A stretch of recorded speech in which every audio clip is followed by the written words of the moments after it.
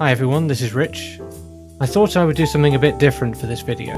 This is something that I got up to about two years ago, and I think it illustrates a concept that I really believe in. I believe that as humans we learn by doing. If you really want to learn about something, I think you need to have a reason to learn. I think you also need to get hands on and use what you've learned, otherwise, it's never going to stay in your head. So, my message is if there's something that interests you, have a go and see what you learn. After all, what's the worst that can happen?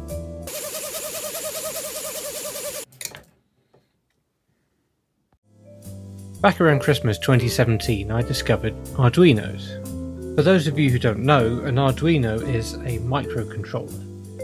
A bit like the kind of electronic brain you would find inside a coffee machine.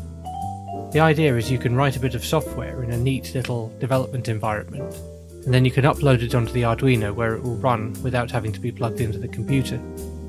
The thing that intrigued me was the range of sensors that can be attached to one. And in particular, I was fascinated by a breakout board that had a little gyroscope, accelerometer, and magnetometer on it. They're the sort of thing that everybody takes for granted they'll find in a smartphone these days. But here was one I could have a play with. Here's the thing I've never been particularly big on electronics or computer programming. But it's different when you put the hardware in front of yourself and you actually have a go at trying to make it work. I dug through all the documentation and some of the example code was really useful. Soon I had something pretty cool, which was my computer reading off the rotations of the gyroscope I was holding up in front of me. It occurred to me that if I did some basic maths, I could add up all of these rotations and have the Arduino keep track of its orientation. I had to wrap my head around a whole bunch of vector maths, but at the end of it I really did have a system that could not only tell me what the pitch and roll angles of the board were, but it could also use the magnetometer to work out which direction it was pointing. Now at this point I'm sure somebody might be thinking, Rich, why didn't you just download ArduPilot from the internet? Well, two reasons. First, I think that figuring this sort of stuff out is fun, but also now I know how it works. Yes, I know my code is probably really inefficient. I haven't even wrapped my head around quaternions yet, for example. But I can't overstate how much I learned about digital interfaces and C programming from this little exercise. Once I had this inertial reference system working, it seemed obvious to me that I should try some kind of primitive autopilot. Arduinos work very well with the kind of servos that come with radio controlled aircraft. So I got an old model glider that I had, took out the radio gear and installed the Arduino and the breakout board.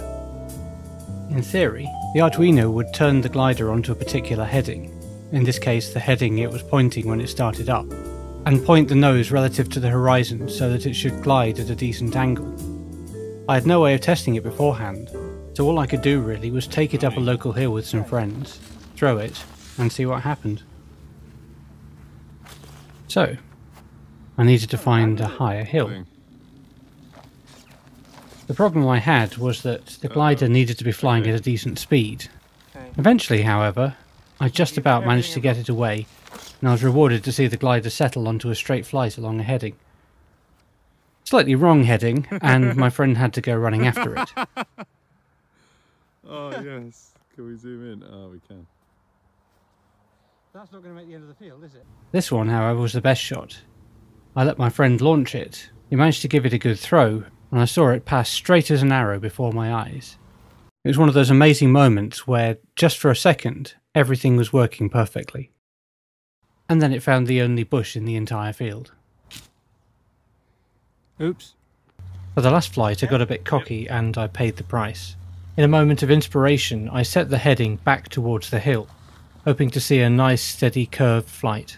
But I hadn't thought about the landing. Oh. we didn't see it, but it must have landed one wing first, spinning the glider around and damaging the tail. I had no way to repair it, so that was the last flight of the day. So what's my message? Well, flying the glider was fun, but it was fun because it was the culmination of many hours' play. It was my creation. I put my clumsy code into a badly soldered Arduino board inside a battered old model glider, and it worked. I wouldn't have enjoyed launching a pristine new model out of a box half as much, and I certainly wouldn't have learned as much as I did. Above all, though, I think my message is if there's something you would like to try, what are you waiting for? Why don't you have a go and see what you learn?